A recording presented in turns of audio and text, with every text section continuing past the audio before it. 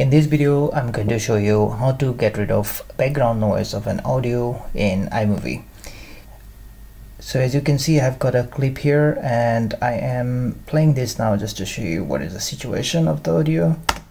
But alright, so you see how quickly we got an amazing dashboard and that is quite interactive. We can we can basically have an idea now compared to here what what it is okay. all right so you see how quickly we got an amazing dashboard and that is quite interactive. We can we can basically have an idea now compared to here what what it is.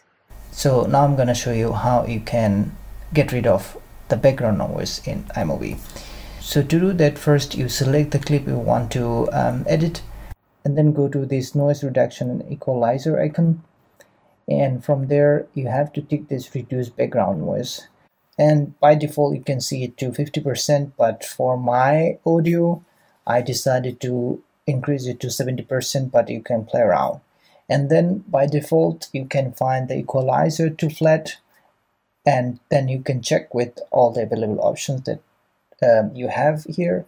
But for my audio I decided to go with this treble reduce and that's how I got this result. And this is how you can get rid of uh, background noise of an audio in iMovie. Thanks for watching. I'll see you next time. Goodbye